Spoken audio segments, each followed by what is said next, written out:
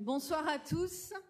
Euh, nous sommes euh, au nom du comité de pilotage des vendanges du savoir extrêmement heureux de vous voir ici euh, nombreux et enthousiastes pour cette conférence inaugurale de la saison 2022-2023 des vendanges du savoir.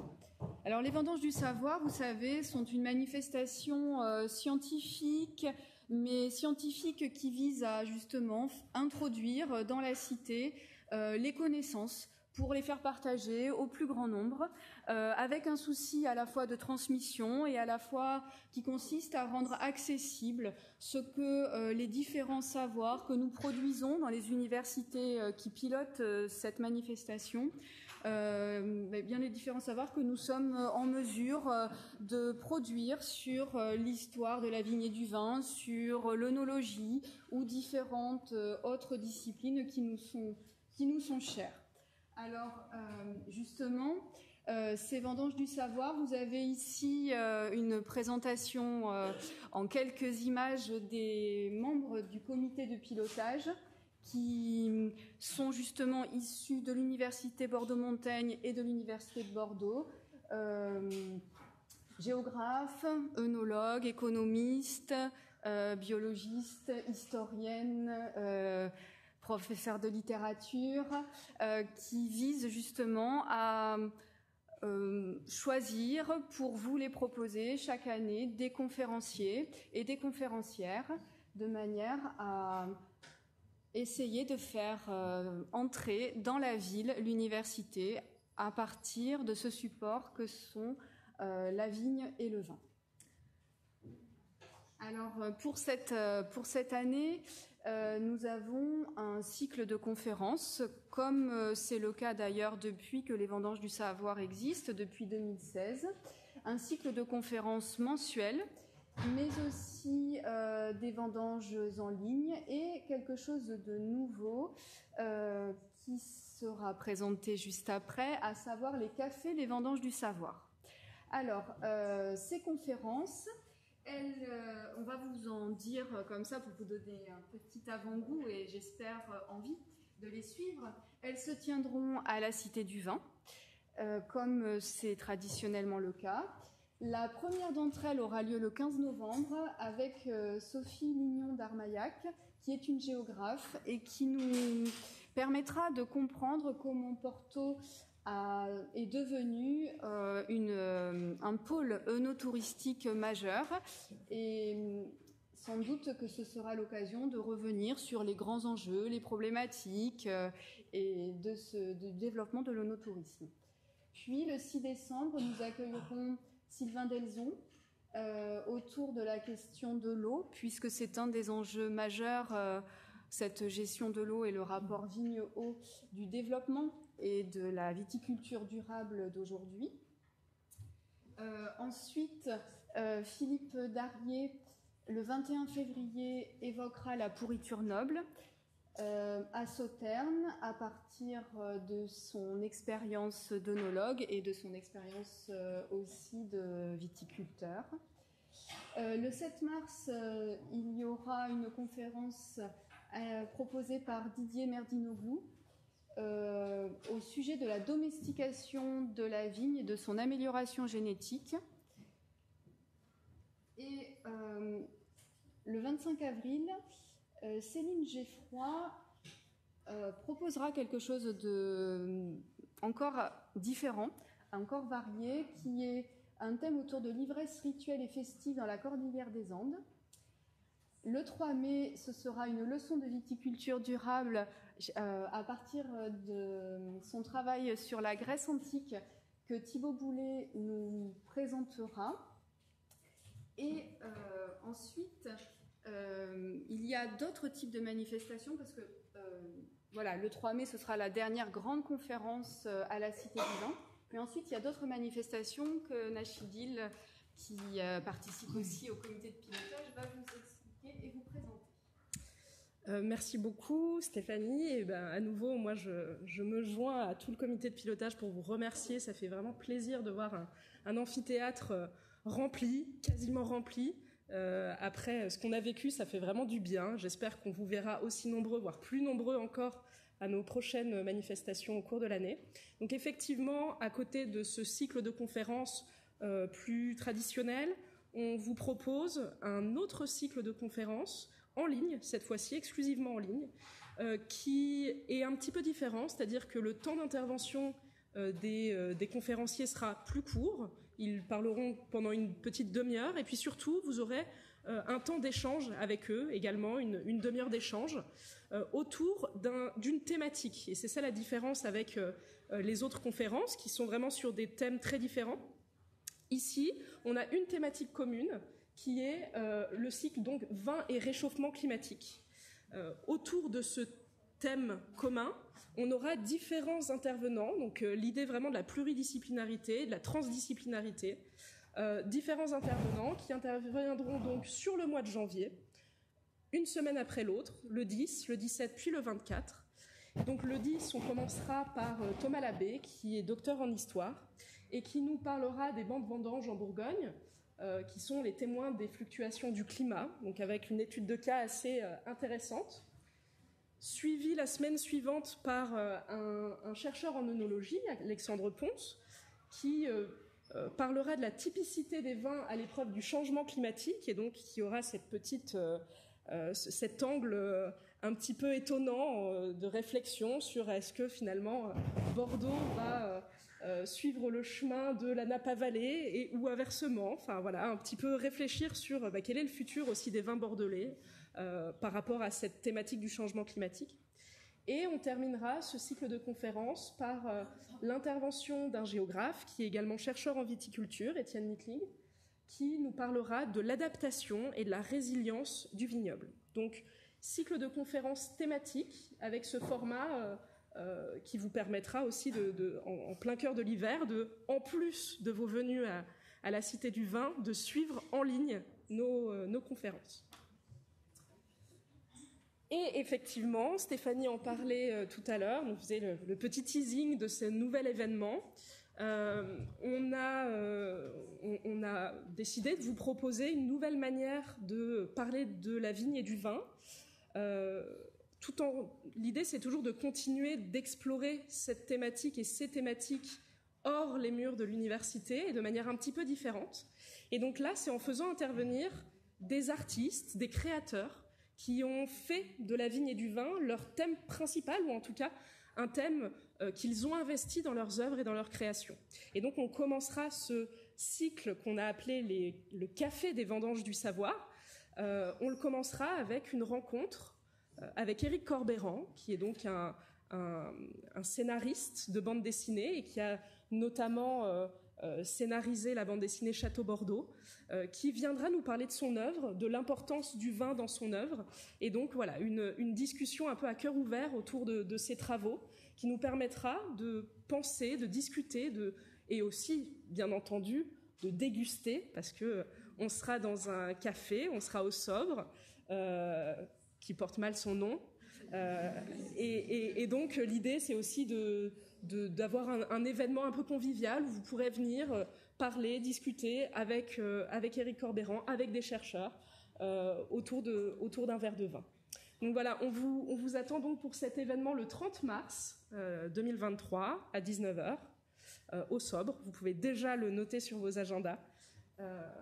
Et à, travers l'ensemble de ces cycles, l'ensemble de ces conférences, on espère que vous aurez une année riche en découvertes à nos côtés, une année qui commence dès aujourd'hui. Et du coup, j'invite Eric euh, pour euh, introduire cette première conférence de l'année.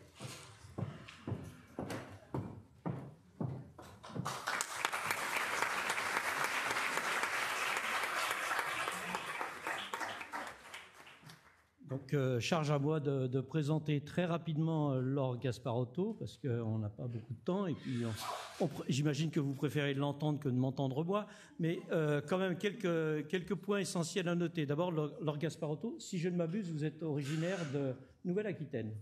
Vous êtes né en Nouvelle-Aquitaine. Je suis né à Rochefort, exactement. Ah, donc c'est bon. je ne sais pas si ça fait partie. Ah, ça fait partie. On peut, on peut, on peut valider parce que vous avez, vous avez été, euh, vous avez commencé par faire l'histoire médiévale de la Bourgogne, Ce qui, ça, ça ne nous intéresse pas du tout. Et donc, je tenais quand même à le signaler. Non, ça nous intéresse bien sûr. Mais vous êtes quand même originaire de Nouvelle-Aquitaine. Alors, évidemment, pour ceux qui ne le savent pas, Laure Gasparotto est journaliste depuis plus d'une dizaine d'années au monde, très connu dans le, dans, dans le dans le milieu du journalisme avec Le Monde, Le Point, vous avez été, euh, vous avez été au Figaro aussi, vous avez fait des chroniqueuses du, Figaro. Et puis, euh, vous avez surtout, je pense, enfin, je ne sais pas si c'est surtout, mais vous avez participé aussi avec Jean-Pierre Coff, avec, euh, à l'émission de Jean-Pierre Coff, je ne sais plus comment, à France Inter.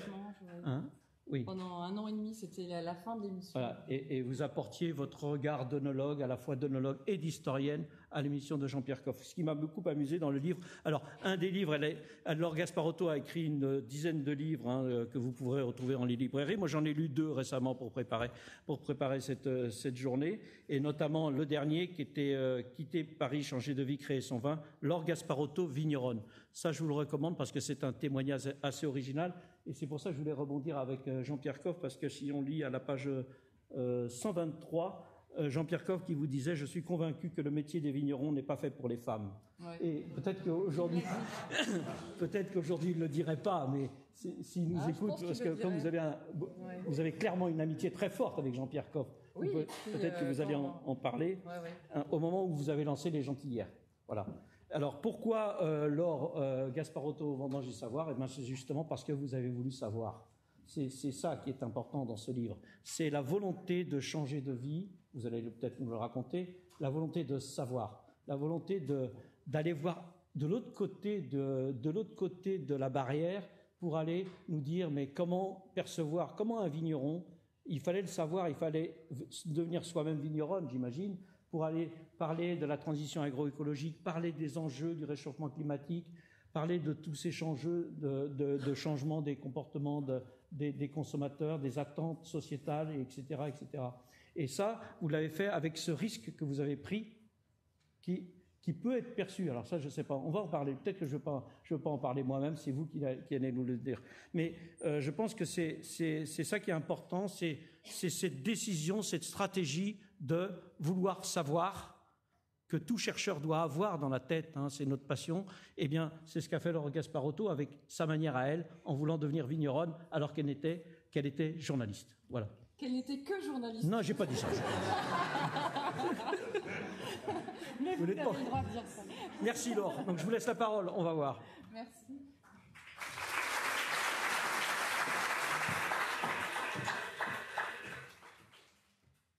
En tout cas, je suis ravie d'être là pour euh, l'inauguration de ce cycle des vendanges du savoir.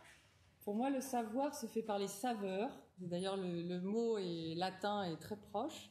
C'est sapere. Alors, j'ai regardé. Je suis pas sûre que ce soit tout à fait la même racine, mais ça me plaît de savoir que les saveurs et le savoir sont très proches. En tout cas, moi, ma connaissance du monde, aujourd'hui, je, sais, je l'assume, c'est par les saveurs que, je l'ai d'autres. Enfin, et, je, suis ravie parce qu'on vient de, au niveau de l'école, de finir la semaine du goût.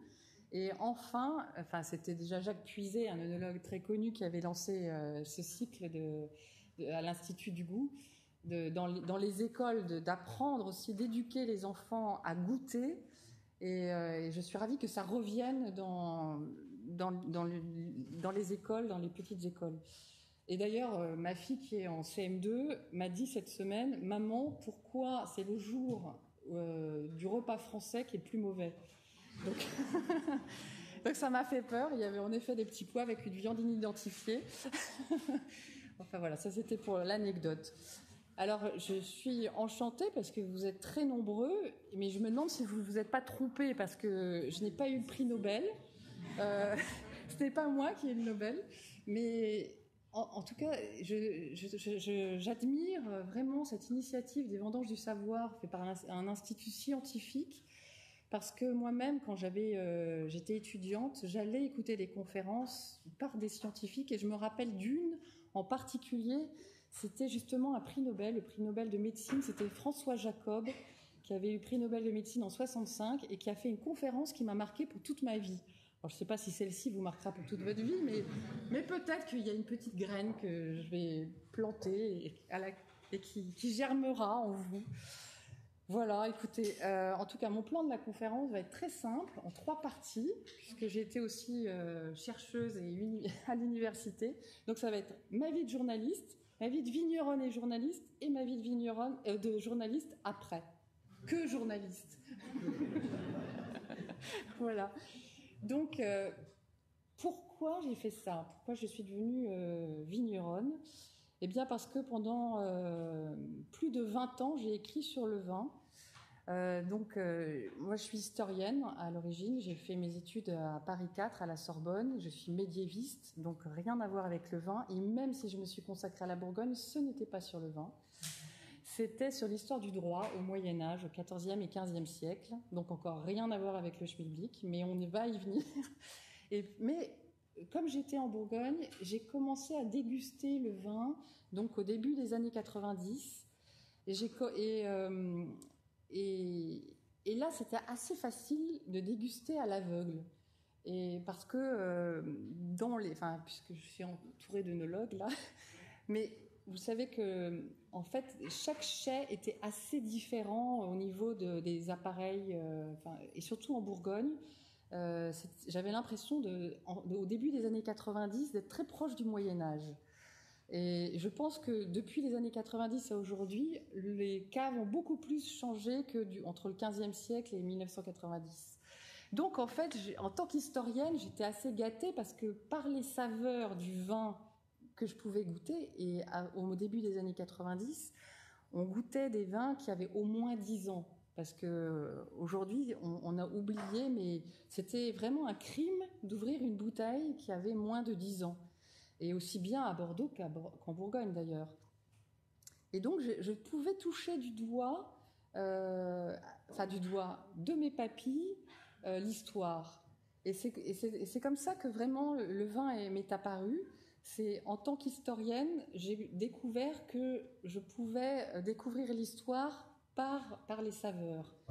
Et, là, ça m'a beaucoup intéressée. Et donc j'ai commencé à déguster. Il se trouve que j'avais plutôt une bonne mémoire, euh, une bonne mémoire euh, olfactive, gustative. Mais je vous dis, c'était assez facile hein, il y a 30 ans, parce qu'une Syrah australienne ne ressemblait pas du tout à une Syrah du Rhône Nord. Aujourd'hui, ça peut être plus compliqué. En tout cas, voilà, c'est comme ça que j'ai commencé à écrire sur le vin, sur l'histoire du vin, pour, pour un magazine qui s'appelait Bourgogne aujourd'hui, qui se créait à ce moment-là, qui existe toujours. Je ne sais pas si vous le connaissez. Enfin, c'est un magazine vraiment dédié aux vignobles bourguignons. Et puis progressivement, enfin, j'ai commencé à écrire pour un guide des vins qui n'existe plus, qui c'était le guide euh, Fleurus. Euh, c'était un guide d'onologue d'ailleurs. Et, euh, et, puis le Figaro m'a appelé pour, pour collaborer avec, avec lui sur l'art de vivre en tant que correspondante depuis la Bourgogne, puisqu'entre-temps, j'avais quitté Paris pour travailler à Bourgogne aujourd'hui et au bien public, euh, qui était le quotidien euh, régional, où j'avais moi-même créé une rubrique sur le vin. Et à l'époque, euh, je me souviens, j'étais allée à Dijon et pour proposer ma rubrique, on m'a demandé qui lisait le bien public. J'ai dit peut-être les gens qui ont du temps, les gens à la retraite. Enfin, j'avais déjà tout faux. Mais on m'a quand même accordé une fois par semaine euh, et c'est comme ça que j'ai vraiment appris à la fois mon métier d'écriture du vin et le vin. C'est que pendant une semaine, je, sais que c'est pas à cause de moi que vous partez. Hein. vous m'avez prévenu, donc tout va bien. et comment Il y a un congrès de 900 personnes. Ce soir, il y a un dîner de gala et je dois commenter des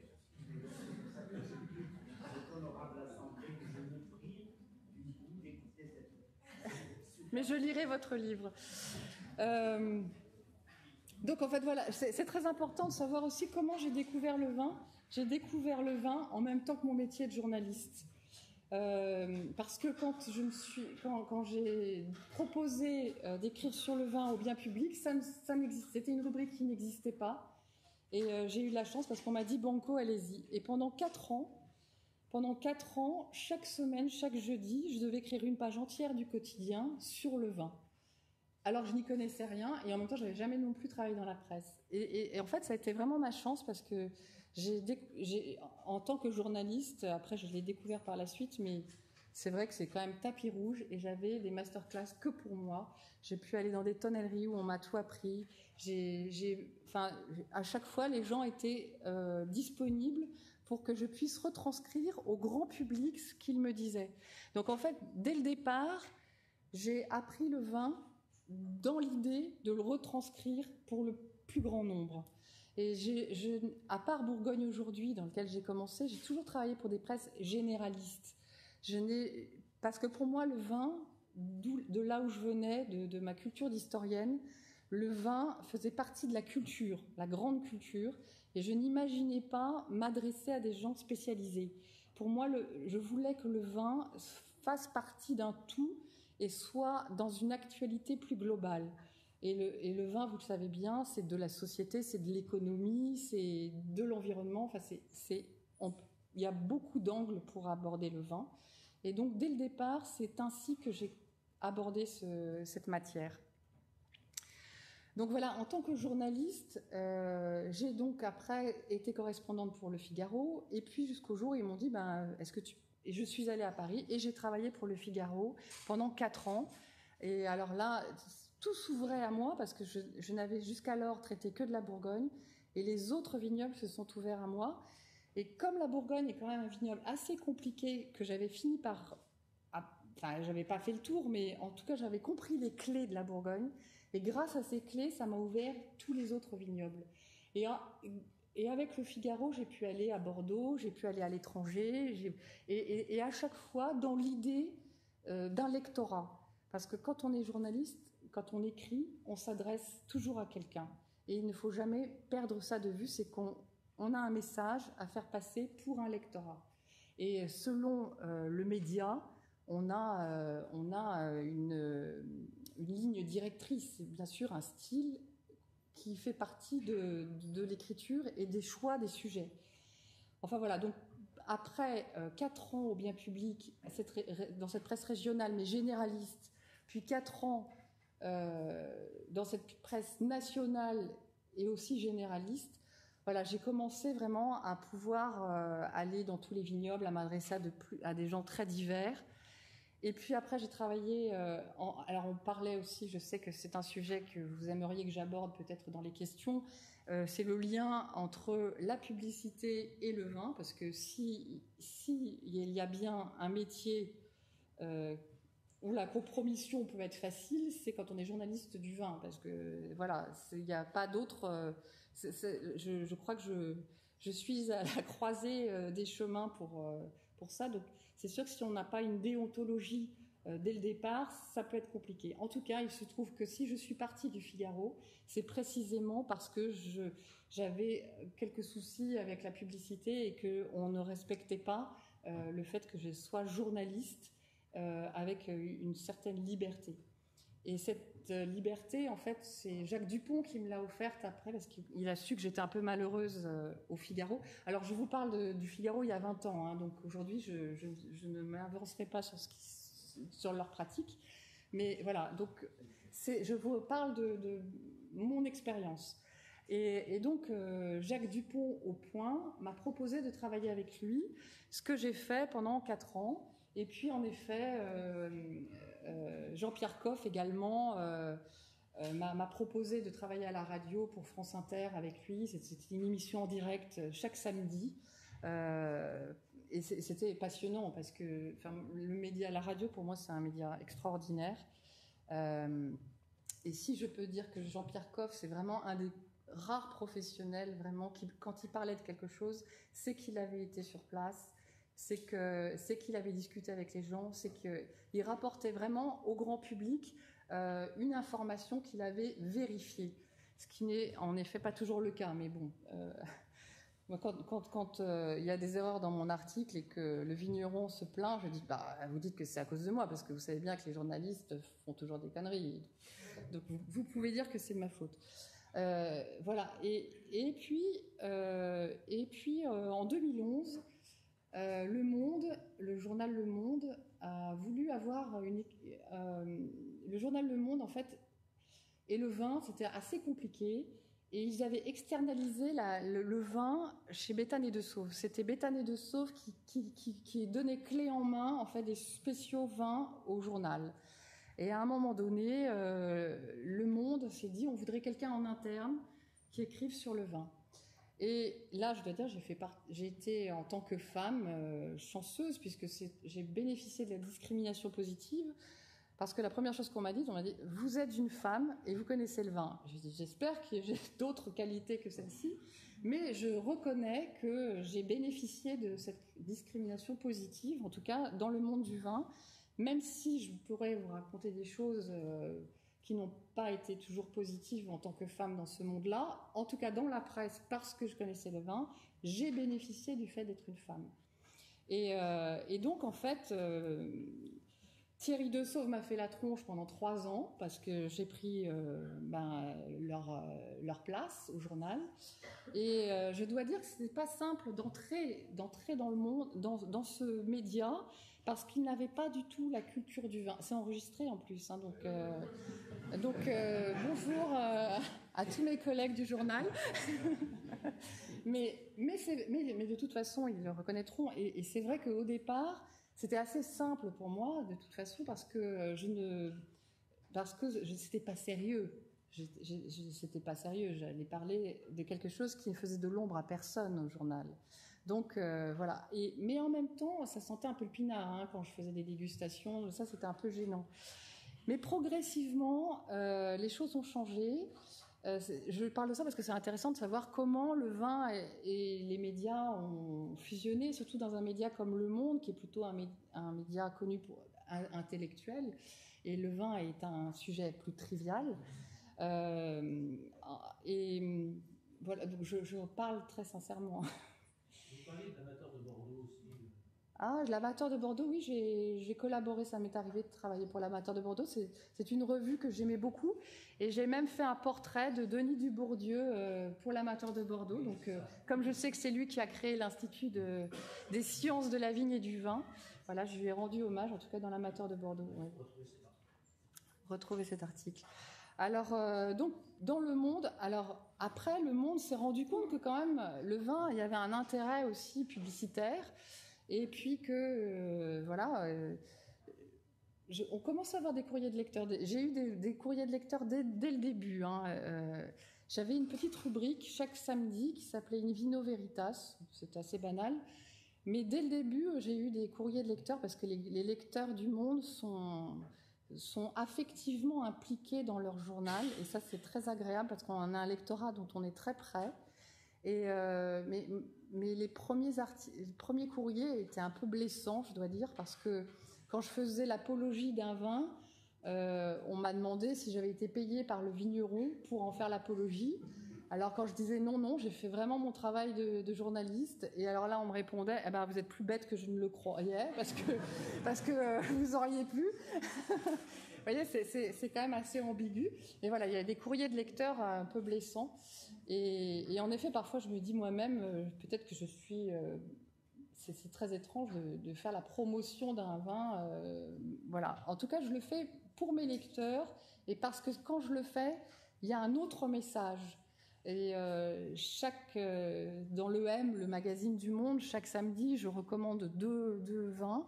J'essaye toujours par ces deux vins de, de transmettre autre chose. dernièrement, je ne sais plus, il y a 15 jours par exemple, euh, je parlais de, deux premiers nouveaux crus, premiers crus de, de pluie fuissée, puisque c'était le premier millésime 2022 euh, apparaît avec l'étiquette premier cru pour pluie fuissée. Voilà. Donc je recommandais deux vins de cette appellation parce que ça faisait dix ans que l'appellation se battait pour euh, la reconnaissance de, de, certains climats en premier cru. J'essaie toujours en, tout cas, c'est mon intention de faire passer quelque chose de culturel quand je recommande des vins. Euh, donc je suis toujours à la première partie, hein, euh, parce que je suis pas devenue vigneronne, mais bientôt ça va arriver. Euh, parce que voilà, et, ça va arriver très vite parce que finalement le monde se rend compte qu'il y a quand même un intérêt avec le vin, avec les lecteurs. Et là, et là, il demande à la Revue du vin de France de, peut-être de, s'allier au monde. Et moi, je me dis, merde, il y a quelque chose qui m'a échappé. Je suis là pour parler de vin et ils vont chercher la revue du vin de France. Et là, je dois dire que j'ai eu un flottement, euh, un, flottement professionnel je me suis dit, euh, moi qui ai toujours refusé de travailler pour une presse spécialisée, elle me rattrape et c'était pas ce que je voulais. Euh, et c'est à ce moment-là que je me suis dit, peut-être qu'il y a quelque chose dans ma vie que je devais changer. Et il se trouve que lors d'un déjeuner de presse, donné par les terrasses du Larzac, ils étaient en train de, d'essayer d'être reconnus en tant qu'appellation. Les terrasses du Larzac, jusqu'en 2014, c'était une dénomination Languedoc. Et je crois que ce déjeuner de presse était fin 2011 ou, début 2012. Euh, et donc, je déguste lors de ce déjeuner de presse une quinzaine de terrasses du Larzac que je ne connaissais pas, je le reconnais. Et c'est ce qui est beau aussi avec le monde du vin c'est que même si ça fait 30 ans que je suis dans cet univers, il me paraît sans fin. Et, ce jour-là, je vois qu'il y a quelques vignerons qui sont là, et je trouve une homogénéité qualitative extraordinaire, et en même temps des différences de personnalité très fortes. Et ça, ça me, ça me parle. Et, je suis étonnée parce que je ne connais pas ce paysage, et je promets que je vais aller sur place pour, euh, pour euh, me rendre compte d'où viennent ces saveurs. Et encore une fois, c'est grâce aux saveurs que le savoir m'est transmis. Euh, et, donc, quelques mois plus tard, je vais découvrir donc les terrasses du Larzac qui sont au nord-ouest de Montpellier. Et je découvre là euh, vraiment un territoire inconnu. Et grâce à un géographe qui est Duby, euh, pas Duby, pardon, comment s'appelle ce géographe qui a écrit sur l'histoire Son nom m'échappe. Non, euh, il est mort, un géographe qui est mort. Roger Dion, bravo. Roger Dion. Grâce à Roger Dion, je comprends pourquoi en fait ce territoire était inconnu jusqu'alors alors qu'il faisait de si bons vins. C'est qu'il manquait le moyen de communication pour le faire connaître. Parce que comme dit Roger Dion, en fait, la première qualité d'un vignoble, c'est, ce sont les moyens de communication euh, qu'il a pour y parvenir. Et en fait, les terrasses du Larzac avaient été isolées jusqu'à ce que l'autoroute euh, euh, arrive. Cette autoroute, vous le connaissez, c'est avec la viaduc de Millau et qui va jusqu'à Montpellier. Et en fait, cette autoroute désenclave cette région. Et là, il y a une révélation en fait de ce territoire et, en fait qui, est très qualitatif. Et là, pendant mon reportage, je tombe amoureuse d'un vignoble de vigne et c'est écrit en énorme à vendre. je vous garantis qu'aujourd'hui, ce n'est plus le cas parce que c'est compliqué d'acheter euh, des terrasses du Larzac. Euh, mais à ce moment-là, et là, tout à coup, avec ce qui se passe dans ma vie, je me dis, mais oh, c'est extraordinaire, c'est à vendre, et je demande le prix. Et à l'époque, c'était 15 000 euros l'hectare. Et je me dis, waouh, l'aventure est possible. Et, euh, là, j'appelle le vendeur, J'appelle le vendeur et il avait deux hectares à vendre. Et puis euh, je me renseigne, enfin très vite, tout, tout, tout va, ça va vite dans ma tête. Et un vigneron me dit, tu sais, euh, vu toute l'administration qu'il y a quand on est vigneron, tu devrais acheter plutôt 5 hectares parce que toute l'administration que tu feras pour 5 hectares, pour 2 hectares, c'est pareil que si tu en avais 5. Et puis, avec les problèmes climatiques, parfois, il vaut bien avoir euh, plusieurs lieux dits. Si tu as de la grêle sur un lieu dit, tu en auras peut-être. Enfin, c'est le meilleur conseil qu'on m'ait donné, c'est d'acheter 5 hectares plutôt que 2. Et voilà comment mon aventure, et je passe à la, donc à la deuxième partie, comment je deviens vigneronne. Et là, je deviens vigneronne. Euh, j'ai des amis qui m'aident à financer, euh, à financer. Je voulais pas les perdre, donc je leur ai demandé juste 5000 euros.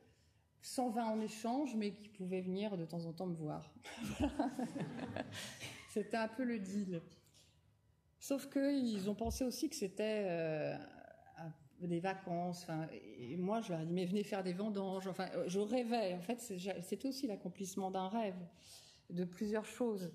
Et, euh, je me suis rendu compte qu'on ne faisait pas faire des vendanges par ses copains comme ça. Enfin, j'ai découvert, euh, je suis partie un peu la fleur au fusil. Mais il y avait aussi quelque chose en tant que journaliste, c'était euh, je voulais passer de l'autre côté parce que quand même, au bout de, 20 ans de, de discussion avec les vignerons, j'avais l'impression de passer à côté du sujet malgré tout. Et, euh, à chaque, et de plus en plus, les discours étaient les mêmes. J'entendais toujours la même chose. J'aurais pu écrire en fait sans, euh, sans aller voir la personne. Enfin, et je me rendais compte que les vignerons étaient sur des rails. Et alors, euh, maintenant, je sais comment presser quelqu'un pour qu'il me dise autre chose que ce qu'il a l'habitude de me dire. Euh, et, je, sais en face à face aller extraire ce qu'il faut et ce que la personne a de particulier. Mais quand même, j'avais l'impression de passer à côté du sujet. Et, donc, en passant de l'autre côté, je n'ai jamais arrêté d'être journaliste parce que parce que je n'ai jamais gagné ma vie en tant que vigneronne. Euh, avec mes 5 hectares dans le Larzac et j'ai mis, à peine 18 euh, hectolitres par hectare, c'était compliqué quand même. Euh, donc voilà, j'ai jamais, j'ai dû garder, en fait, je dis ma vie de vigneronne, mais en réalité, j'ai gardé les deux casquettes. Et ça, ça a été un vrai problème. parce qu'on peut pas être journaliste et vigneronne, c'est impossible. Et j'ai devenu moi-même schizophrène. J'avais deux vies, j'étais dans une vraie schizophrénie. Euh, je voulais euh, être vigneronne, donc la première fois que je suis allée euh, en tant que vigneronne dans mon syndicat où on m'a donné le nombre de voix qui correspondait à mon nombre d'hectares pour voter, là je me suis dit c'est la première fois que je suis comme eux, que je suis avec eux, que je suis parmi eux. Mais malgré tout, je me rendais bien compte que c'était aussi à ma casquette de journaliste que mes collègues parlaient parfois, et donc tout le temps, je me regardais dans la glace et je me demandais, mais qui suis-je? Suis-je la femme vigneronne qui met ses bottes? Euh, et, qui adore être dans, ses vignes ou euh, cette femme euh, qui cache ses mains après les vinifications pendant pendant une conférence de rédaction parce que ça, ça, je suis pas à ma place non plus. Et, c'est la raison pour laquelle, au bout de cinq ans, j'ai dû choisir. Et, là, j'ai dû me faire aider aussi, hein, parce que c'est pas un choix facile de quitter, de quitter un, vignoble, parce que vous savez, peut-être certains d'entre vous sont vignerons, mais un vignoble, enfin, en tout cas, moi, je l'ai vécu euh, comme si c'était des enfants. Enfin, je l'ai vraiment vécu intimement. Et d'ailleurs, aujourd'hui, mes vignes, ce sont toujours mes vignes. Je suis la grand-mère de ces vignes j'ai apporté quelque chose à ces vignes. Il y a eu un avant, un après moi. Je suis devenue amie avec les personnes qui m'ont succédé sur ce vignoble. Euh, et, ces personnes le, rendent encore plus beau. En fait, j'ai acheté des raisins, vignes à des coopérateurs qui partaient à la retraite. Euh, donc, c'était des raisins euh, qui allaient en cave coopérative avant moi, et j'ai fait partie de tout cet élan qui a eu lieu dans les terrasses du Larzac de néo-vignerons qui ont, qui ont tenté leur chance. Et c'est aussi la raison pour laquelle c'était, c'était une appellation facile pour moi, parce que nous étions beaucoup de, d'anciens citadins euh, qui, qui, se, qui s'essayaient à la vie rurale. Et, donc, quand je suis arrivée, euh, l'appellation a tout de suite été acceptée par l'INAO. Et donc j'ai eu la chance de pouvoir produire dès mon premier millésime euh, des terrasses du Larzac et de valoriser euh, mes bouteilles. Euh, en tant que journaliste, je me suis rendu compte que ce qui m'intéressait, c'était de me faire le porte-parole du monde rural pour des citadins. Vraiment, j'ai essayé de faire ce pont. Et pendant toute ma vie rurale, et avec tous mes, tous mes amis qui m'ont aidé dans ma vie rurale, et qui étaient des citadins, j'ai essayé toujours de leur expliquer ce qui se passait. Mais je vous assure, je, ne sais, je, crois que ça a été un échec.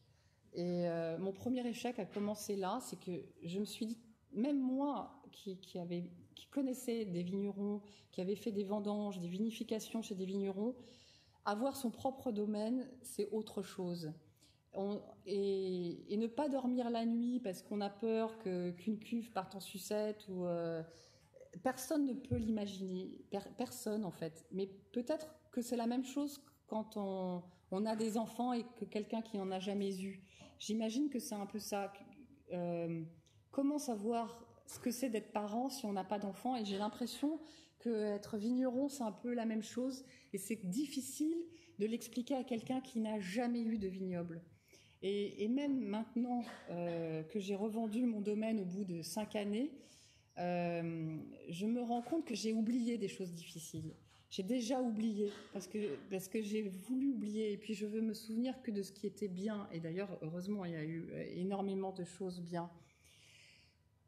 Mais cette expérience m'a appris à comprendre cette phrase d'épithète, c'est ce qui dépend de toi, c'est d'accepter ou non ce qui ne dépend pas de toi.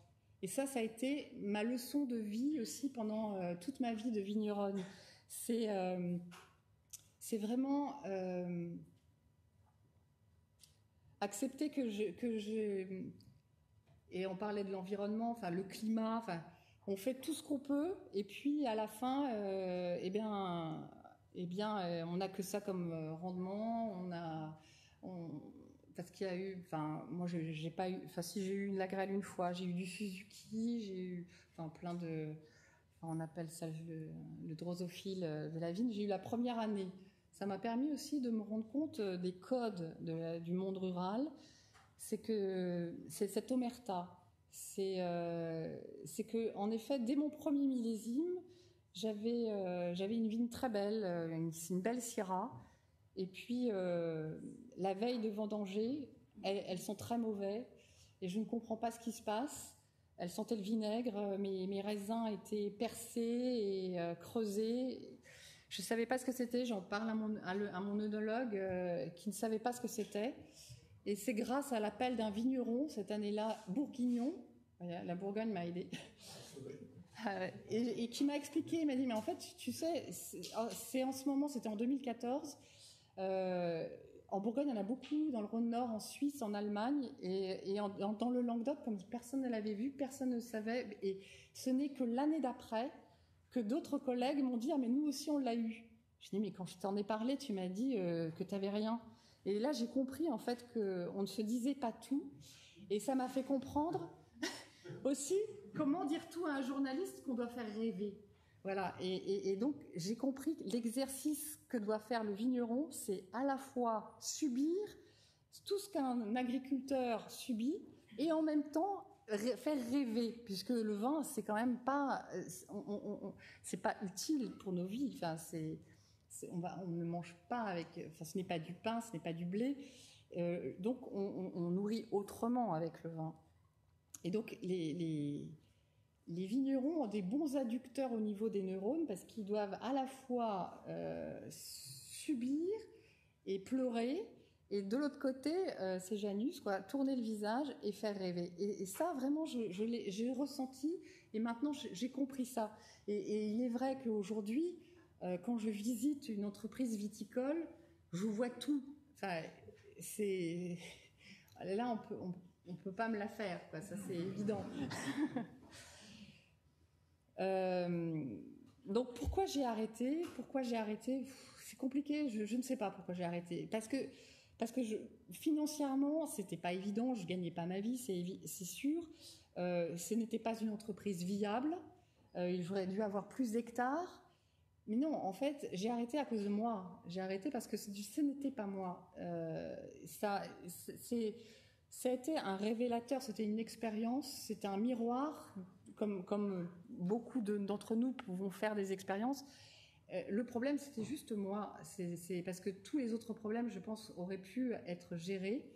Euh, mais simplement, euh, je n'ai jamais autant écrit que quand j'étais vigneronne. pendant en cinq ans, j'ai publié trois livres. Et donc, je ne sais même pas aujourd'hui, alors que mes enfants étaient petits, je divorçais, je travaillais pour journal, et j'ai écrit trois livres. En fait, je dormais très peu. Et, donc, en fait, ça m'a révélé, ça m'a révélé en fait que j'étais plutôt quelqu'un qui écrit.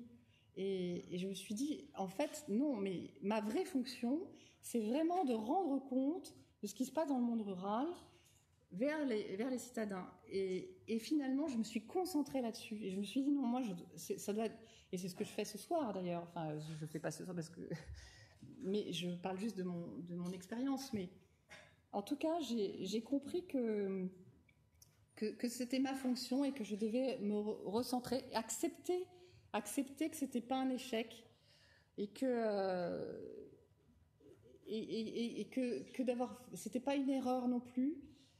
C'était, mon, chemin en fait. C'était mon chemin, mais qui m'a fait comprendre que j'étais très inspirée par ce monde.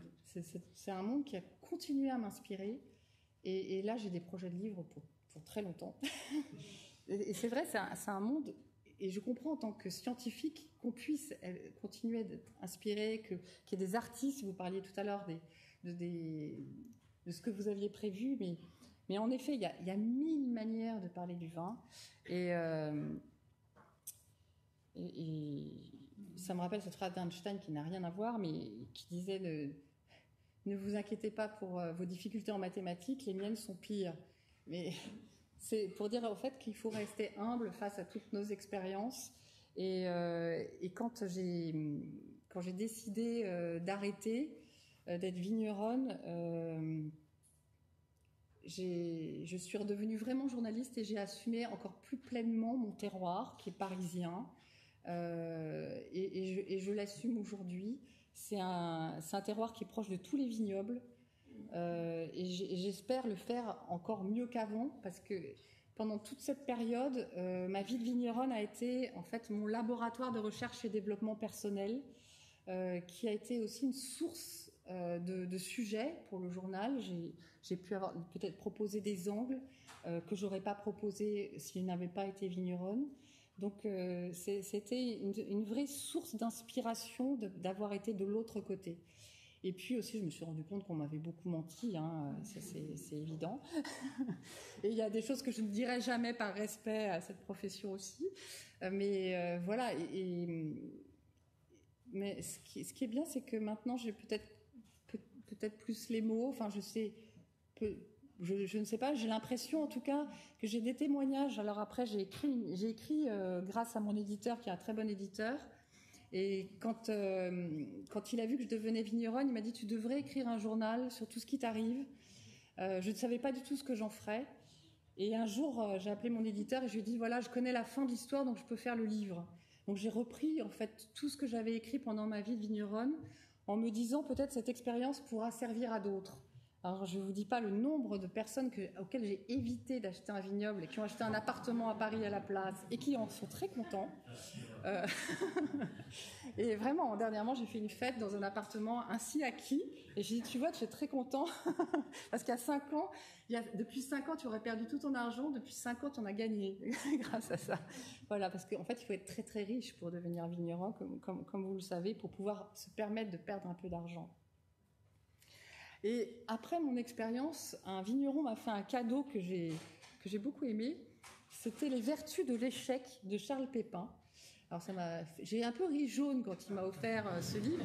Et je dis qui c'est parce que c'est Olivier Julien du Julien en terrasse du Larzac, mais avec lequel j'avais écrit un livre d'ailleurs. Euh, parce que quand je suis devenue vigneronne, comme je vous l'ai dit, j'ai eu envie encore plus d'écrire qu'avant. Et je me suis demandé dans quel territoire j'arrivais et parce que j'ai compris aussi que chaque vigneron de chaque région a une structure mentale très différente. Bon, donc comme vous l'avez compris, moi c'était plutôt en Bourgogne que j'avais appris à faire du vin, parce qu'après j'avais quand même essayé d'en faire. Euh, et qu'on avait un seul cépage pour le rouge, un seul pour le blanc, donc tout allait très bien. Et j'arrivais dans le Languedoc où c'était un, pour être en terrasse du Larzac, il fallait trois cépages minimum dans l'assemblage. Je, n'ai pas compris en fait au départ pourquoi, alors que je trouvais que mon Carignan tout seul était très bien, que en plus même je travaillais à la Bourguignonne, j'avais tout vinifié selon mes sept lieux dits, euh, et, je ne comprenais pas quel était l'intérêt de l'assemblage. Et pour comprendre, en fait, il fallait que je comprenne aussi la, structure mentale des vignerons qui m'entouraient. Le plus ancien, l'un des plus anciens, c'était Olivier Julien, qui fêtait à ce moment-là les 30 ans de son domaine, les 30 ans de mise en bouteille. C'est un et, donc, euh, je lui ai posé des questions. On en a fait un livre. Ça s'appelait euh, La mécanique du vin. La mécanique du vin, voilà. Justement. Et, grâce à lui, j'ai compris ce qu'était le Languedoc, quel genre de vin je devais faire. J'ai choisi une bouteille bordelaise et pas bourguignonne. D'ailleurs, mes amis bourguignons n'ont pas compris pourquoi j'avais pas choisi. J'avais pas parce que quand on est dans le Languedoc, on a le choix. Hein, euh. bah, d'ailleurs, ici aussi, j'ai vu maintenant des bordelais mettre des, leur vin en bouteille bourguignonne, bref.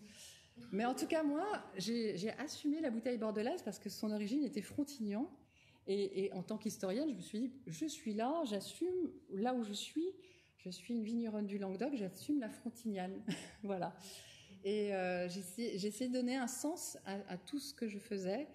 Euh, et donc, Olivier Julien m'a offert Les Vertus de l'échec de Charles Pépin, et qui m'a aidé. Enfin, j'ai noté une phrase là qui, m'a aidé aussi à achever mon histoire de vigneronne. C'est une fois que nous savons d'où nous venons, que nous prenons la mesure de tout ce dont nous héritons, il nous reste encore la liberté de danser autour de notre axe, de nous renouveler dans la fidélité à ce que nous ne pouvons pas changer et en fait, ça m'avait permis d'élaguer aussi beaucoup de choses et, euh, et, de suivre ma propre étoile, qui était en fait finalement l'écriture. Et, euh, et, il se trouve que ce livre Vigneronne que j'ai fait après ma, mon expérience m'a ouvert, enfin, euh, ouvert vraiment à une vie littéraire encore plus riche, puisque même puisque même j'ai été invitée par François Bunel à la grande librairie.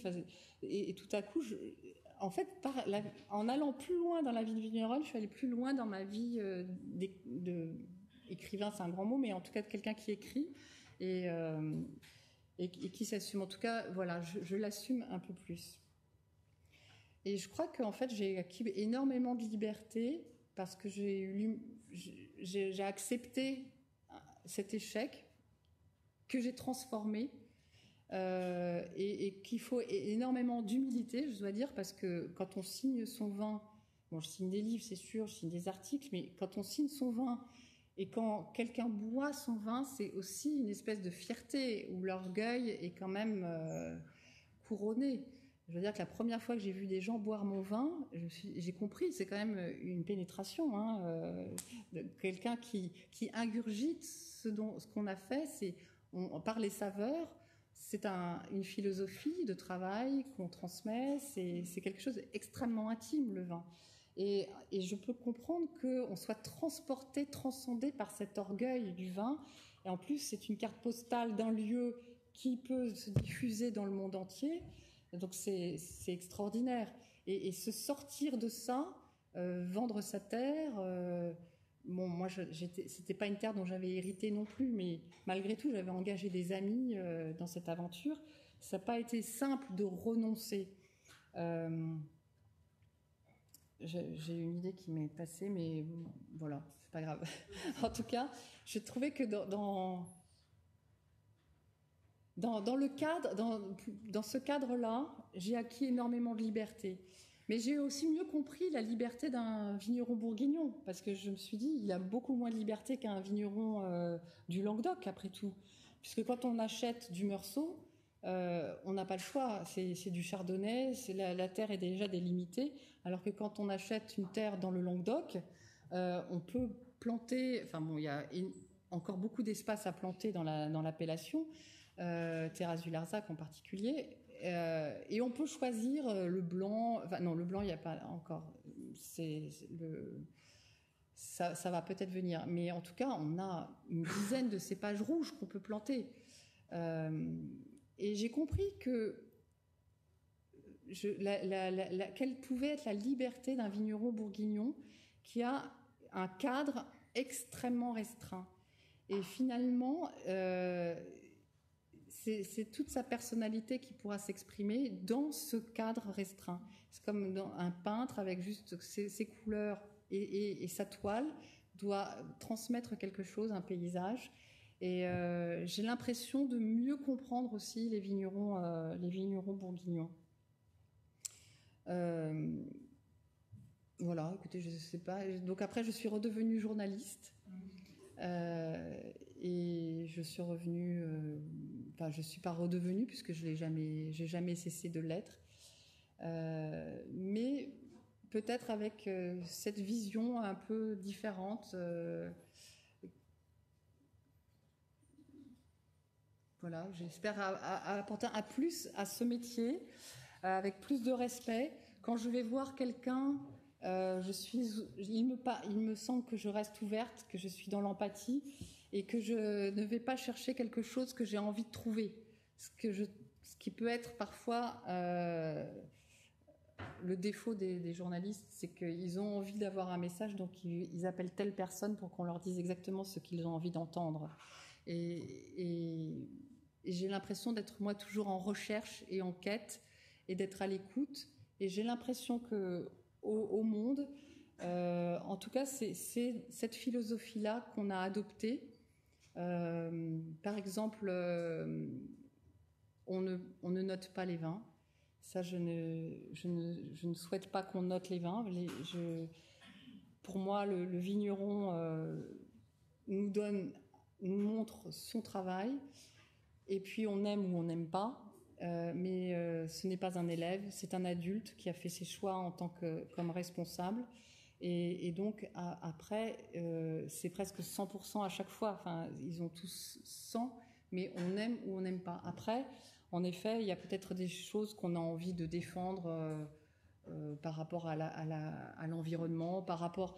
Euh, mais, parfois, si un vigneron me dit j'ai deux hectares, que je fais en biodynamie à 15 hecto-hectares et que je vois qu'il n'en vit pas, ce n'est pas forcément aussi ce que j'ai envie de, promouvoir parce que j'ai envie de promouvoir une, agriculture, une viticulture qui tourne, et, qui, euh, économiquement euh, se porte bien.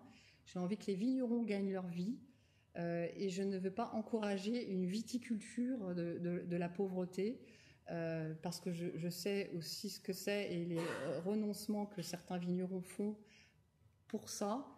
Et, il faut les encourager à avoir du rendement, pas, pas à dépasser les rendements autorisés, mais quand, on, quand on croit me faire euh, me dire qu'on fait un vin de qualité parce qu'il n'y a que 15 hecto-hectares, c'est pas par, le, un petit rendement que la qualité parle.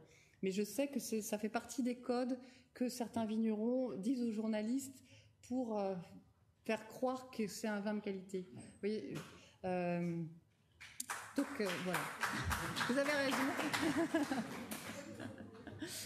Mais voilà, il y a, peut-être des, des, choses comme ça qui, grâce à ma vie de vigneronne que je, ne veux pas promouvoir.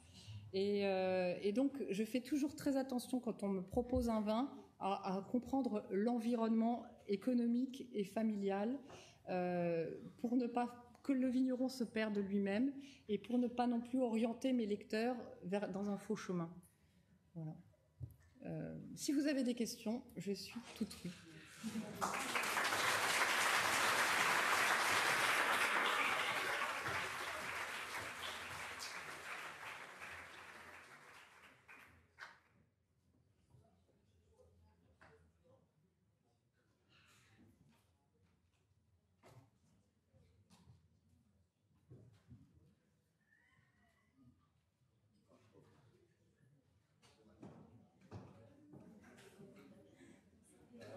Il y a tout un. Euh, ah Alors il y a tout un pan dont je n'ai pas parlé, c'est être femme en tant que vigneronne. Mais je pensais que les questions viendraient. Là, ça marche. oui, parce que. Euh, bon, ben voilà, Anna, vas-y, pose ta question. Voilà, c'était justement cela que je voulais vous demander. Est-ce que le fait d'être une femme, est-ce que vous pensez que cela a marqué cette expérience de propriétaire d'un domaine viticole En tout cas, aujourd'hui, d'être femme en tant que propriétaire d'un domaine, c'est plutôt... Pardon? Ce n'est plus exceptionnel. Alors, ce n'est plus exceptionnel, mais en, fait, on n'est pas si nombreuses. J'ai essayé de trouver des chiffres, mais c'est pas évident d'en trouver. Il y a peut-être 20% de, de vigneronnes, euh, de vraies vigneronnes, hein, qui, sont à la tête de leur domaine, qui font leur vin, qui sont pas la femme d'un vigneron. Euh, donc, on n'est encore pas à 50-50. Euh, et, d'être une femme, parce qu'on est une femme, c'est quand même un avantage, dans la mesure où, aujourd'hui, médiatiquement, les, gens viennent nous chercher. Alors, il y a quelque chose, moi, avec laquelle je ne suis pas du tout à l'aise, ce sont les associations de femmes euh, vigneronnes. Et, en tant que journaliste, on m'a proposé de faire partie d'associations euh, et en tant que femme vigneronne également. Et moi, je, ne suis pas à l'aise, mais parce que je fais peut-être partie de la vieille génération des, femmes. Euh, et je suis pas une combative comme les femmes d'aujourd'hui. Et je reconnais que leur combat est sans doute nécessaire parce qu'on vient de loin. Hein, on doit dire qu'on vient de loin. On m'a refusé quand j'avais 20 ans d'entrer dans une cuverie euh, alors que je vendangeais en me demandant si j'avais mes règles. Et euh, bon, c'était pas au 19e siècle. Hein, euh. donc on me l'a vraiment, on m'a interdit l'entrée d'une cuverie. Et, en tant que vigneronne, pour mes premières vinifications, j'étais seule dans mon chai et je me suis, je me suis prise à penser, ouf, je n'ai pas mes règles, donc mon vin va. Non mais c'est terrible parce qu'en fait j'avais enregistré malgré moi l'information. Et donc c'est vrai qu'on vient de loin, donc je suis euh, admirative des jeunes femmes d'aujourd'hui qui peuvent euh, mener des combats, mais je n'arrive pas à les suivre dans, dans, ce, combat un peu violent pour, pour moi, pour ce que je suis. En tant que femme, j'ai plutôt essayé de, faire avec et, de faire ma place euh, sans, sans, entrer dedans, mais en contournant le problème. Mais je dois reconnaître que d'être une femme dans le monde du vin au niveau médiatique, c'est quand même positif parce que même euh, sur Instagram, euh, c'est plutôt les femmes qu'on va prendre en photo. Ça, c'est pour l'image, c'est plutôt bien, c'est écologiquement, euh, éco-socialement bien. Enfin, c'est un peu terrible parce qu'on est quand même aussi utilisé. Et je me souviens quand, puisque ça va bientôt être l'avant des vins des hospices de Beaune, quand euh, Ludivine Griveaux a été euh, embauchée aux Hospices de Beaune, je lui ai demandé quel était son salaire. Je devrais enfin bref, euh, ça, m'a un peu énervé quand même, parce qu'il y a quand même toujours des, alors c'était il y a très longtemps que je posais cette question, et mais il y a quand même des, différences salariales et parfois à, poste égal, on choisit une femme parce qu'elle a moins d'expérience, parce qu'elle est moins payée et qu'elle va moins bien faire et qu'elle aura besoin de l'aide d'un homme. Hein, il faut quand même. on, doit. c'est vrai. Alors j'ai à côté de moi Sandrine Garbet, euh, Château Guiraud, Château Iquem, et qui voudrait réagir justement par rapport à cette, cette réaction de femme vigneronne. Bon, je suis un peu forcée par Eric, hein, quand même. J'aime pas trop parler comme ça, mais euh, bon, j'adhère complètement à ce que vous dites et euh, je, ne peux qu'aller dans votre sens. Moi-même, j'ai jamais voulu participer à des clubs de, de, femmes du vin. En effet, je me sentais pas à l'aise non plus euh, du tout. Même si j'adhère au combat, je, je suis d'accord. Euh, bah, j'ai mené mon combat à, ma petite échelle et, euh, et j'ai toujours répondu aux sollicitations médiatiques parce qu'effectivement, en tant que femme du vin, et à l'époque où j'ai été nommée maître de chez Dicam, j'ai été beaucoup sollicitée par les médias. J'ai toujours répondu, pas du tout pour moi, mais en me disant, bah, au moins je fais passer un message positif et si je peux donner envie à des jeunes femmes d'aller vers ce métier-là, euh, bah, c'est toujours ça de gagner. je l'ai toujours fait pour ça même si euh, à la fin euh, voilà de ma vie à IKEM notamment j'en avais vraiment assez d'être toujours interviewée sur les mêmes sujets. Femmes du vin et alors bon voilà. Donc mais, je l'ai toujours fait pour pour au moins transmettre bah, c'est possible quoi. Allez-y mesdemoiselles mesdames foncez quoi. C'est un beau métier alors là où je voulais euh, euh, rebondir, c'est vous étiez presque prête à dire tout à l'heure, euh, suite aux propos d'Éric, que finalement vigneronne, ce n'est pas un métier de femme. Et alors je voulais savoir. Ah non non non, j'ai pas dit que c'était pas. Ah. C'est Jean-Pierre Coff qui a dit que c'était pas un Pierre Coff. Voilà, mais vous aviez l'air de. Ah non, j'ai dit parce que Éric disait Jean-Pierre Coff ne dirait peut-être pas la même chose aujourd'hui. Connaissant Jean-Pierre Coff, il continuerait à oui. ce n'est pas un métier de femme. Mais non, non c'était comme ça. Non, non, j'ai. Vous ah êtes. Non, je, me permets. Pas du tout. Mmh. Non, non, c'est. Mmh. Et, non, non. Alors, non, vous avez, heureusement que vous avez relevé parce que c'était pas du tout ce que j'ai dit. Mmh. Et ce que je trouve intéressant, euh, quand on est une femme et qu'on fait ce métier, c'est qu'en effet, ça fait quand même appel à une certaine masculinité mais pour les hommes, ça fait également appel à une certaine féminité. Et j'ai l'impression que, à travers ce métier, c'est un métier qui peut vraiment équilibrer euh, les personnes entre leur masculin et leur féminin. Et j'ai l'impression, enfin, c'est mon interprétation, que vraiment les, grands vignerons sont des gens qui ont, qui ont parfois trouvé l'équilibre entre leur masculin et leur féminin en eux. Et, plutôt que de femmes, de ou d'hommes, je, préférerais qu'on parle d'harmonie d'être humain et, d'avoir trouvé en soi euh, ce qu'on a de masculin ou de féminin. Et il se trouve que c'est très intéressant. D'ailleurs, je l'ai vraiment vécu intimement dans la mesure où à un moment donné de ma vie de vigneronne, euh, mon corps s'est coupé en deux, littéralement, parce que j'avais mon côté gauche qui était froid et mon côté droit qui était chaud. Vous touchiez mon pied droit, il était chaud et mon pied gauche était froid. Et j'étais complètement coupée en deux. Et je n'avais, il y avait quelque chose, j'avais toujours mal euh, au côté gauche. Enfin, et c'est un médecin qui m'a dit, mais en fait, euh, tu es devenue plus masculine. Et j'avais, en fait, j'avais, euh, j'étais tout le temps dans l'action et j'avais développé tout, tout, un pan de moi que j'ignorais et, qui n'avait jamais travaillé. Et, c'est intéressant. Et ce serait vraiment une étude à faire un jour, enfin, sur le corps humain chez les vignerons. mais mais c'est intéressant parce que pour, pourquoi, pourquoi il y a un tel problème chez les, entre hommes et femmes dans ce, dans ce métier? Et, j'ai on dit toujours que les femmes sont mieux que les hommes. Je, alors je ne crois pas. Je crois pas que.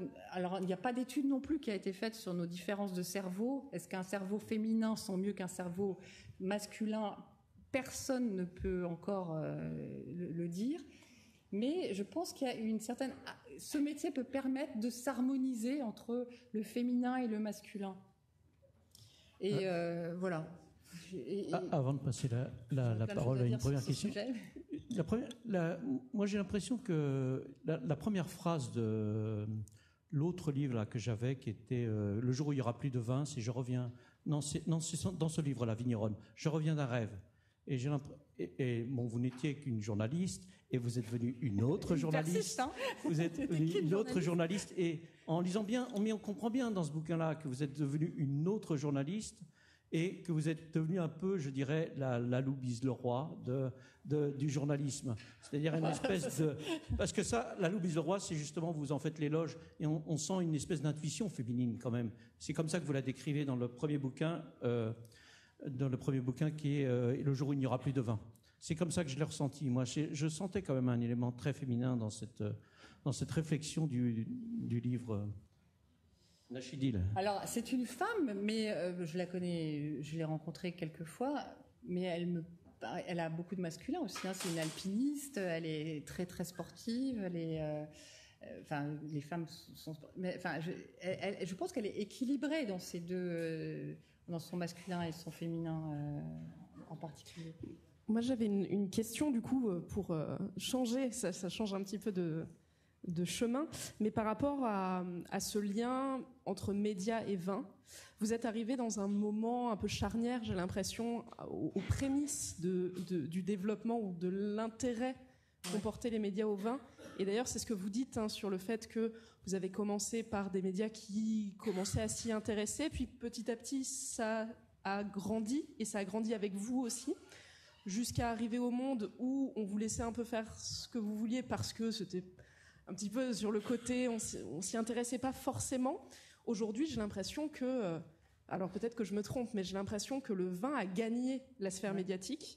Euh, ça va peut-être de pair aussi avec le fait que la gastronomie, de manière globale, a, gagné la sphère médiatique mm. sur euh, plein d'émissions de, télé autour de la grande gastronomie, des émissions de radio sur la gastronomie et sur le vin, la place du vin aussi dans la gastronomie. Est-ce que vous avez ressenti, vécu ce basculement-là, cette bascule? Euh, Vous en avez aussi été actrice. Euh, comment vous voyez aujourd'hui euh, cette, cette nouvelle place qu'a le vin finalement dans la sphère médiatique? Est-ce que c'est une, une, volonté des acteurs ou une nouvelle appétence du consommateur ou des consommateurs c'est vrai que quand j'ai commencé à écrire sur le vin, je crois qu'il n'y avait pas d'attaché de presse consacré uniquement au vin. Et, c'est peut-être deux ou trois années après que j'ai commencé à écrire sur le vin qu'une première attachée de presse m'a appelé et je me suis dit mais je n'ai pas compris. Je n'ai pas compris en fait.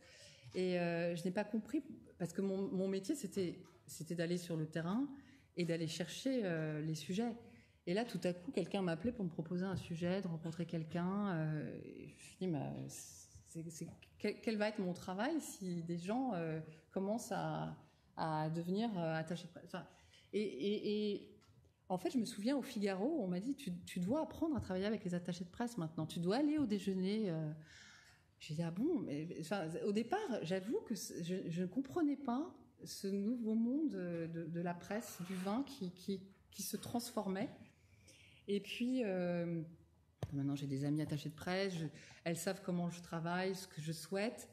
Et, euh, et maintenant, j'essaie toujours d'être sur le terrain et de ne pas négliger non plus euh, les messages qu'une attachée de presse peuvent me faire passer parce que maintenant, c'est vrai, on est tellement sollicité je dois reconnaître que parfois, pour, me contacter, c'est plus simple par le biais d'une attachée de presse. Euh, j'ai encore une idée qui est passée. Mais. Euh, non, c'est grave parce que, c'était très important.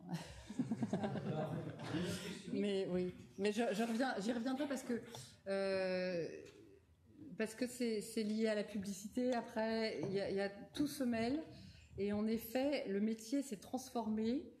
Euh, et, apprendre à travailler dans ces nouvelles conditions, ça n'a pas été simple pour moi. Euh, parce que moi, ce que j'aimais, c'était précisément aller à la découverte et, euh, aller faire parler des gens qui n'avaient pas l'occasion de parler. Je me souviens être allé dans le Muscadet, par exemple, dont on parle pas si souvent. Dans le Muscadet, avoir des gens qui n'avaient pas l'habitude de voir des journalistes et me dire, voilà, mais nous, vous savez, le Muscadet vieillit très très bien aussi, et ouvrir des vieilles bouteilles de Muscadet en disant, mais là, on atteint des prix beaucoup plus chers que ce que je viens de vous montrer. Je dis, ah bon, mais c'est combien? Et on me dit 7 ou 8 euros. Et, euh, et là, je me dis, enfin, et en effet, je me rappelle, c'était au Figaro à ce moment-là, j'avais recommandé une bouteille de muscadet un peu ancien à 8 euros et le, type avait vendu 300 bouteilles la semaine qui a suivi.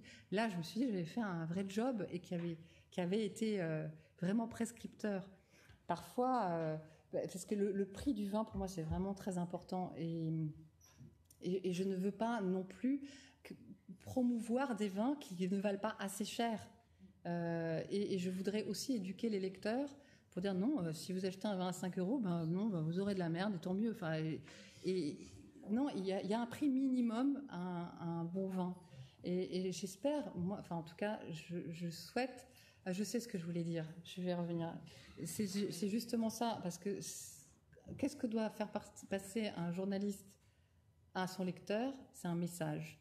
Et parfois, quand une attachée de presse nous appelle, je dis mais ok, mais quel est le message? Me dit bah voilà, c'est une. Mais je dis mais il n'y a pas de message. Moi, s'il n'y a pas de message, je comprends pas parce que on confond en fait aujourd'hui dans le monde du vin et des médias, etc. Euh, la communication et l'information. Et ça, c'est pour moi un point euh, vraiment mais très important. Il y a une information, mais il y a de la communication. Et je ne suis pas quelqu'un qui prend le relais de la communication. Moi, je travaille pour un, lectorat, pour un journal qui transmet de l'information. Et, euh, et, la communication, ça va être par le biais de la publicité. Et là, ça va être vraiment étanche euh, et, je reconnais que dans mon journal, c'est étanche. La communication passe par quelque chose, et moi, c'est de l'information. Alors après, euh, c'est pas toujours évident, hein, mais, euh, mais en, tout cas, c'est vraiment ça qui doit trancher. Et c'était pour répondre à votre question, c'était ce point-là que je voulais préciser. Bonsoir euh, Laure Gasparato, merci beaucoup pour votre témoignage.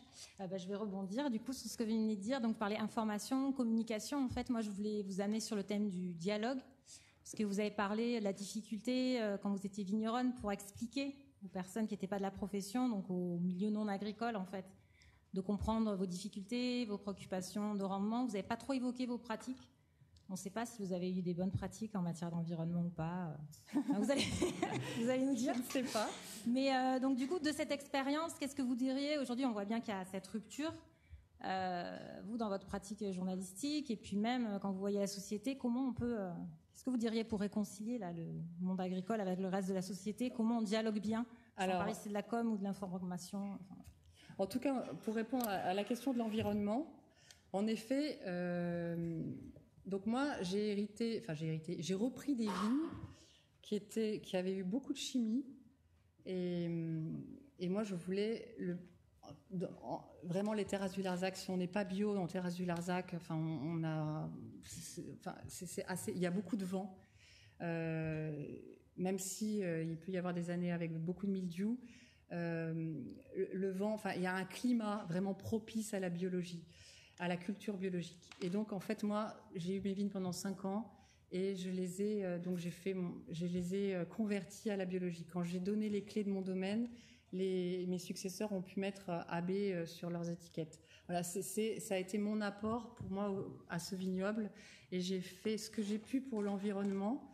Alors au début, euh, en effet, j'ai trouvé que c'était très facile de faire du bio euh, parce que en fait, j'avais rien à faire et, j'étais j'étais allée voir le, berger parce que je me suis dit Larzac. Quand on pense au Larzac, on pense au berger, quoi. On passe aux moutons. Euh, et moi, j'avais pas été dans le Larzac pour élever des moutons, mais pour avoir du vin. Et donc, il y avait un berger vraiment voisin de mes vignes. Et donc, je suis première chose que je vais faire, mais avant même, juste après mes premières vendanges, et je lui dis voilà, moi j'adorerais que vos moutons euh, viennent euh, manger l'herbe de mes vignes euh, cet hiver. Et, à ce moment-là, c'était, maintenant ça se fait beaucoup, mais je vous avoue, mais il y a encore sept ans, ça, ça, se faisait pas. Et, j'étais la première dans les terrasses du Larzac à aller voir un berger. Et à tel point, il m'a dit mais vous savez, vous êtes la première vigneronne qui vient me voir et quand je vois toute cette herbe dans les vignes, ça me fait mal aux yeux. Je me rappelle, il m'avait dit, ça me fait mal aux yeux parce que, en fait, ça, pourrait nourrir mes bêtes. Et je me suis dit, c'est incroyable, quoi. Personne n'était allé le voir. Et, c'est aussi, aussi parfois l'apport de quelqu'un d'extérieur dans un territoire, c'est que il fait des ponts que, que les gens du territoire n'osent pas faire, tout simplement par timidité. Parce que je lui ai dit, mais pourquoi vous n'êtes pas allé voir les vignerons? Il me dit, j'ai pas osé. C'est parfois juste euh, de la timidité. Et, donc pour l'environnement, qu'est-ce que j'ai fait? Euh, Voilà, j'ai fait ça. Après, il s'est posé une grave question et qui se pose toujours dans le vignoble, c'est l'eau. Et euh, en terrasse du Larzac, si mes rendements ont baissé, euh, c'est aussi parce qu'il a fait de plus en plus chaud. Et donc la question de la question d'apporter de, l'eau dans les vignes, de de l'irrigation, c'est et on a un, lac euh, qui s'appelle le lac du Salagou, qui est une grosse réserve d'eau euh, pour les terrasses du Larzac. Mais ceci dit, c'était très très loin de, mes vignes et c'était un coût pour moi injustifié. Et, je sais que personnellement, si j'étais restée vigneronne et que vraiment euh, j'avais dû, je n'aurais pas irrigué, je pense. J'aurais fait ce choix de plutôt diversifier mon activité plutôt que d'irriguer, parce que pour moi, ça allait contre euh, le, changement climatique, à un moment donné, il faut l'accepter et, ne pas lutter contre, c'est-à-dire déplacer le vignoble plutôt que de déplacer l'eau, en fait. Et euh, voilà, c'est, ce sont des questions auxquelles euh, j'ai pensé, auxquelles j'ai participé. Et, en tant que vigneronne, forcément, elles sont arrivées très vite à moi. D'autant que, que quand j'ai acheté le vignoble en 2014, c'était un super millésime très frais en, Languedoc. Euh, et d'ailleurs, je me suis dit, ah, c'est super, il fait bon.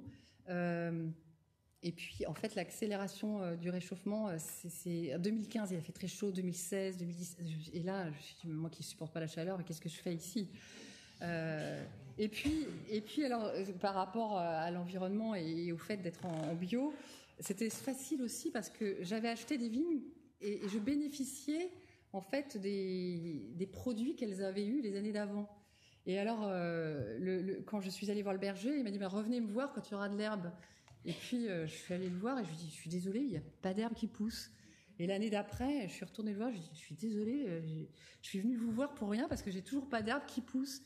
Et, c'est que la troisième année, et c'est comme ça que j'ai compris pourquoi c'était trois ans aussi la période de, de conversion pour pour le biologique, c'est que il a fallu trois ans pour que la vie dans mes vignes ressurgisse. Et là, j'ai compris pourquoi ça pouvait coûter plus cher d'être en bio, c'est qu'il fallait piocher. Euh, et, en fait, toute la question aussi, pour revenir à votre deuxième question, elle passe par la pioche, la deuxième question. C'est que les gens des villes veulent du bio, mais personne ne veut piocher. Et, euh, c'est ça la grosse question, c'est OK pour le bio, mais qui va piocher? Donc, euh, aller piocher. Et, et c'est tout ce problème maintenant qu'on rencontre de la main-d'œuvre. Et, aussi, ce problème est là. J'ai fait mon mea culpa en tant que néo-vigneronne. Euh, une des raisons pour lesquelles j'ai arrêté, c'est que je n'étais pas du lieu. Je n'ai pas grandi dans le lieu. Je n'étais pas attachée à ce lieu par des tombes au cimetière. Euh, et, ça, c'est un, vrai problème d'être néo-vigneron.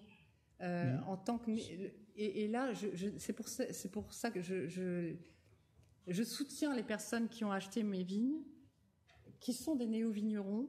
J'espère pour elles qu'elles dureront plus longtemps que moi. Pour l'instant, c'est le cas. Elles viennent juste de dépasser le temps que j'ai fait sur place. Donc euh, voilà. Mais, je, je, il manque l'amour des gens à une terre et un attachement viscéral euh, qui n'a pas été transmis à un moment donné. Moi-même, je suis issue de, de, l'immigration, donc j'ai déjà eu plusieurs déracinements, et je n'ai pas eu en moi un enracinement tel qui fait que j'ai pu me mourir pour ma terre. en gros, parce que je sais que des vignerons peuvent mourir pour leur terre.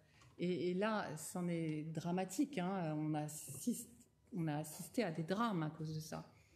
Et dans mon témoignage, justement, ce que j'aimerais aussi, c'est soulager ces vignerons qui vont jusqu'à mourir pour leur terre. Alors, je suis pas, je voudrais trouver le juste milieu. Je suis pas pour encourager les gens à devenir vignerons comme ça, parce que je sais que c'est très dur. Et en même temps, j'aimerais soulager ceux qui y sont trop attachés. Et, et j'ai eu un témoignage euh, après la lecture de mon livre d'une femme qui était à la sixième génération de son domaine familial elle, arrivait à la retraite, elle avait perdu euh, ses enfants qui étaient partis en ville, qui voulaient pas reprendre le domaine, elle avait perdu son mari, enfin elle était complètement déprimée, devenue pauvre parce que tout l'argent qu'elle gagnait allait dans le domaine. Et elle m'a envoyé un témoignage, mais j'en ai pleuré d'émotion parce qu'elle m'a dit après la lecture de votre livre, j'ai appelé le notaire pour dire que je vendais.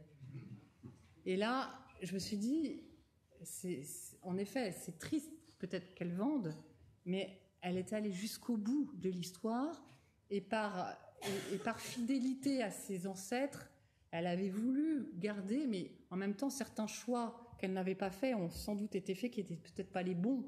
Et euh, moi, je me rappelle, j'avais fait une colonne, deux colonnes quand j'étais vigneronne, euh, à gauche ce qui était bien et ce qui n'était pas bien à droite, enfin le, le, pour et le contre. Et puis, au fur et à mesure de mon aventure, la colonne du contre, elle commençait à vraiment s'étoffer. Et à un moment donné, je me suis dit, il fallait peut-être que je remette la bonne hiérarchie dans ma vie. Et, euh, et même si c'est beau de faire du vin, euh, même si franchement, si un, un, moment que je regrette, c'est, être dans ma grotte, euh, à être à l'écoute de mes raisins, c'est vraiment un moment d'intimité avec un temps qui est difficilement explicable à quelqu'un qui n'a pas fait de vin. cette intimité qu'on a par rapport à une matière qu'on transforme. Et ça, je regrette parce, que même depuis, des vignerons amis m'ont dit si ça te manque, viens, je te donne un, bout de vigne, tu, viens vinifier, mais ça sera pas pareil parce que ce sera pas des vignes que j'ai conduites toute l'année. Ce ne sont pas mes raisins. Ce il y a, beaucoup de choix qu'on fait dans la viticulture qui euh, sont euh, des résultantes après pendant la vinification. donc je, sais que ça je l'aurais plus, mais comment, comment expliquer euh, à des gens qui ne sont pas de là? J'ai essayé, grâce à ce livre, de transmettre ça.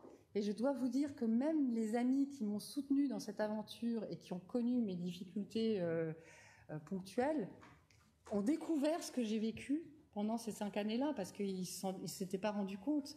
Je ne sais pas si vous connaissez Pierre Aski, qui est un journaliste qui avait créé le 89 et qui fait des chroniques euh, euh, sur France Culture le matin. En lisant mon livre, il m'a dit Laure, je suis vraiment désolée parce que j'ai rien compris en fait. Et alors en même temps, il y a beaucoup de choses que je ne dis pas, mais mais juste pour, euh, il, n'avait même pas imaginé ce quand tu me disais, mais pourquoi tu nous envoies pas des photos de toi euh, pendant la vinification, etc. Je dis, parce qu'en fait, j'ai les mains qui collent, j'ai les mains dans les tuyaux.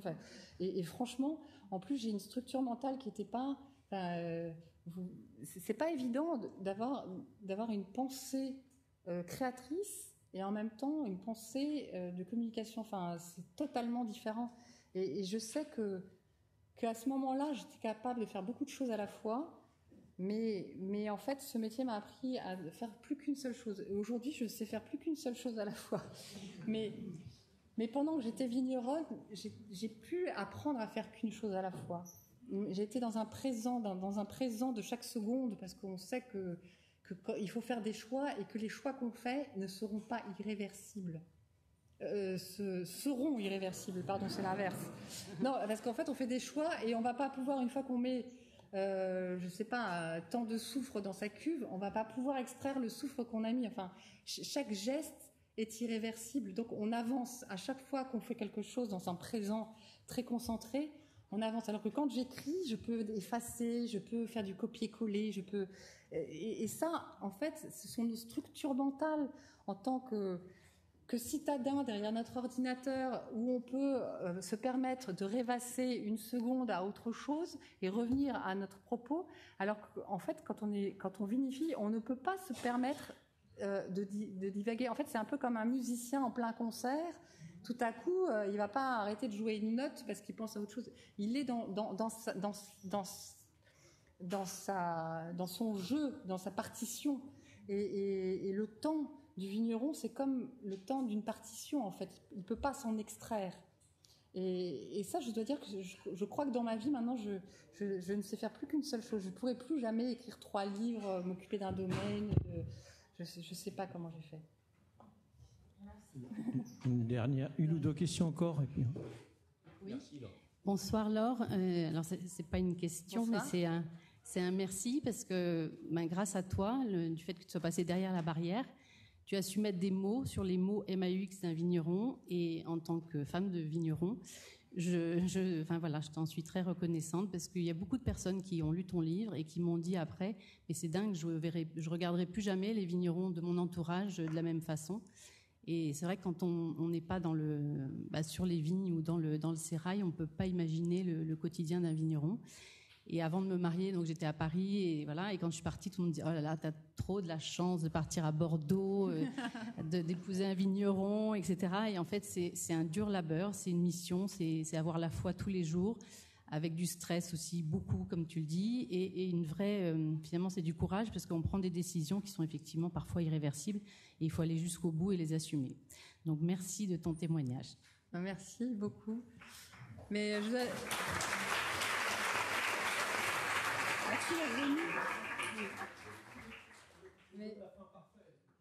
J'aurais quand même juste voulu, ouais, désolé, parce que je voulais un petit peu piquer pour la fin.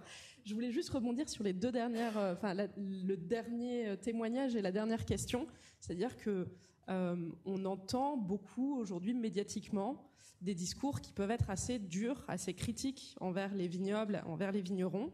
Euh, pas plus tard qu'il y a quelques semaines, euh, certains ont pu voir un documentaire euh, qui a été quand même très à charge sur, sur les vignerons et sur les pratiques. vous parliez de la question de l'irrigation, voilà, c'est quelque chose qui revient beaucoup.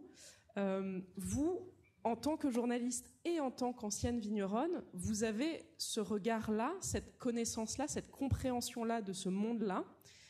Quel regard vous portez sur bah, les, émissions de vos confrères. Hein, le but n'est pas non plus d'être à charge vis-à-vis de ça, mais euh, qu'est-ce que vous, vous pouvez aussi peut-être apporter euh, comme discours qui pourrait modérer, qui pourrait, euh, qui pourrait complexifier peut-être la parole, qui peut parfois être un peu limitante dans le discours public?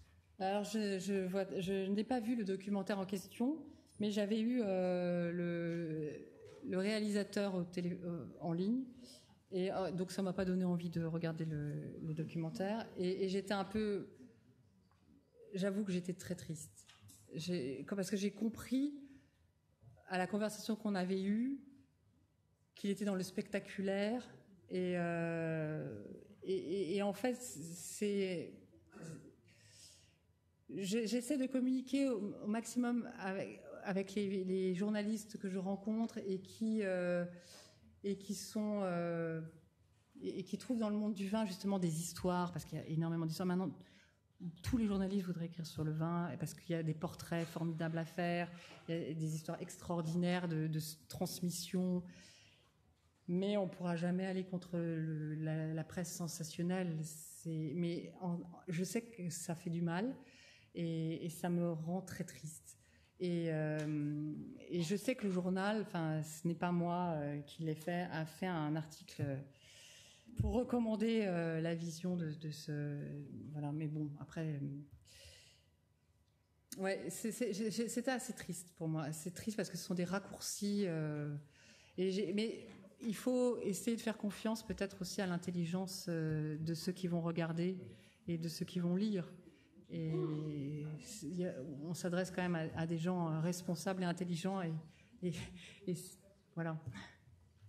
Merci Laure. On peut vous applaudir.